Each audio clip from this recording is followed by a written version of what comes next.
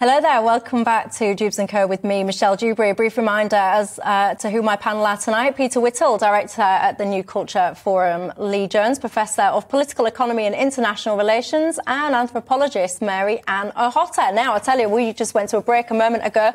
And if you missed it, we were just debating the Russian uh, Ukrainian situation before the break. And I tell you, in the break, Mary Ann turned around to Professor Lee and said, Shame on you for your uh, position on this. So I'm going to come back to the pair of you just for a couple of minutes because I do want to talk about the cost of living as well. Why are you saying shame on Professor Lee for his opinion? Well, Professor Lee, I think it's not right to suggest that the seeds of this conflict are grounded in in the, the, the state of Ukraine and that there was this aspect of, of discontent and, and um, division within Ukraine. I think that's a very dangerous narrative that we start to tell, that basically it's Ukraine's fault and this was always going to happen. Um, that isn't the case. Russia invaded. Russia has invaded. They invaded in 2008. They invaded in 2014. We sat back, let them do it. We didn't want to pick the fight with big old Russia. And look what we have created through our through our absence of action. It's not it's not appropriate to suggest that Ukraine brought this on themselves, right. or that essentially there were the seeds of that discontent and th division, and this is just the inevitable consequence of it. That is not the case. Russia are the aggressors. So Russia didn't invade in 2008. They invaded Georgia in 2008, and they invaded Georgia in 2008 in order to prevent it joining NATO. So since 2008, the Russians have made very clear. But you're suggesting Sorry, that's legitimate. yeah, let, let, him respond. Yeah. I didn't okay. interrupt you. It's, it's not a question of whether it is legitimate for Russia to do what it does, because legitimacy, one way or the other, does not prevent President Putin doing what he's doing. He is a major military power, and he has shown that he is capable and willing to use military force against neighbouring states to prevent them joining NATO. He's been very clear about this, and Russian leaders since the 1990s have said they cannot tolerate the eastward expansion of NATO. They find it humiliating, they find it threatening. And given that NATO often deploys forces beyond NATO in non defensive um, deployments, it's understandable from that perspective. Now, Russia should not be invading other countries, but that is the geopolitical context. The context in Ukraine is that the, the society is, has become polarized between East and West. In the East, there are many Russian speakers, ethnic Russians, who feel much closer to Russia than they do to the West.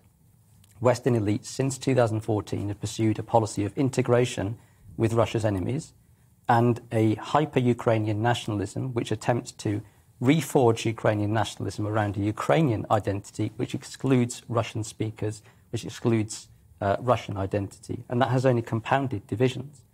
The only, way, the only way you can reunite the Ukrainian nation is to, have, is to pursue a neutral foreign policy.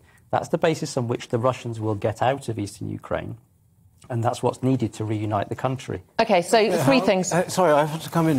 Yeah. You say uh, that's the only basis on which the Russians will get out of the Ukraine. That's a massive leap of faith bordering on naivety, isn't it? You think that that is the way they're going to get out of Ukraine? Well, Russia's made its demands very clear. No, no, they haven't. That's what they say their demands are. Their demands are to. Uh, Putin is frustrated that the Soviet Union fell apart. So the, the, the, kind of the argument that he's trying to denazify Ukraine or that it was actually because NATO were threatening him on his, on his western borders. It is nonsense. Putin is pursuing an imperialist strategy to bring back Great Mother Russia. And he won't be satisfied with the Donbass region. He won't be satisfied with just Crimea. He wants all of Ukraine. He wants to see a great nation once more. And so the fact that he feels bruised is nothing to do with what we do or don't do. It's nothing to do. Um, uh, you talk about, you know, the way to establish a Ukrainian sovereignty is what we do. It's not really about us. Let's not put us at the centre of this. Mm. It's about Ukraine.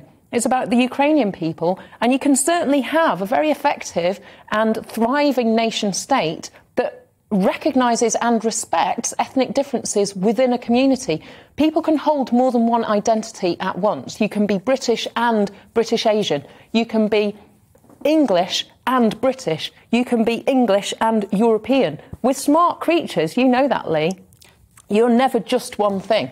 We are a multiplicity of identities, and the Ukrainians are as capable of living that reality as we are. Do you want to come back? Well, I'm afraid the record of the last several years is that is against what you're saying. What do you Ukraine mean? Ukraine is a fractured society.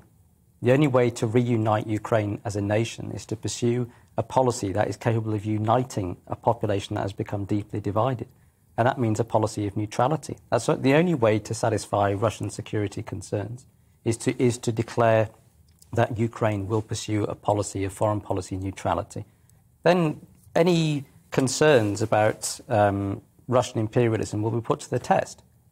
But the, the, they were put to the, the test. They were put to the test in 2008 when, when, when Russia invaded Ukraine, uh, invaded Georgia in 2008. They did not occupy the country and, and, and in, integrate it into the Russian Federation. So this idea that they're on this, this quest to sort of re-establish the Soviet Union it just doesn't fit into reality. It really does in Ukraine because the Donbass. democracy to be ah, yes, yes, but look at the Donbass. You know, they've they've acknowledged, they've recognised these as as independent um, uh, sovereign territories, which they are not under international law. Yes. Those are pro-separatist, pro-Russian, bankrolled by Russia. Um, regions which have seen an ethnic cleansing of the people in those communities who don't identify as Russian. They, people, those people have fled for their lives. What I would ask that you, is not ask acknowledging a reality in Ukraine. That's creating a falsehood that backs Final Russia's point. story. All I would ask you to consider, Mary-Ann, is why those regions became separatist regions after 2014. It is intimately connected to the overthrow of a democratically elected government which had strong support in the east, which deprived the Ukrainian state of its authority in the east and allowed local mayors to pursue a separatist policy. So we have to understand why those regions became separatist in the first place and turned to Russia for assistance. It is intimately connected to a domestic political crisis in Ukraine. The situation there is incredibly complex. I don't expect everybody to know all the history inside out, but can we please look at the history carefully before and not resort to sort of um, cliches about Putin being a, a madman or an imperialist trying to recreate the Soviet Union or being like Hitler.